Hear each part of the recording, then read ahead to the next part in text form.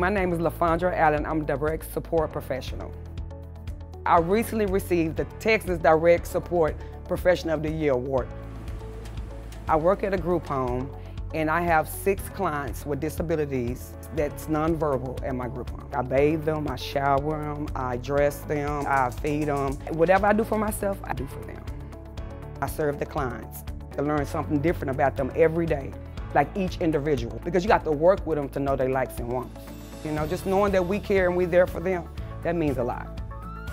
One of my clients got hospitalized. I went to the hospital and I was able to show them how to feed him. My knowledge of showing them how to feed him saved his life. My work comes straight from the heart. I love to see the client smile every day. I just love to do everything with them, just brighten my day.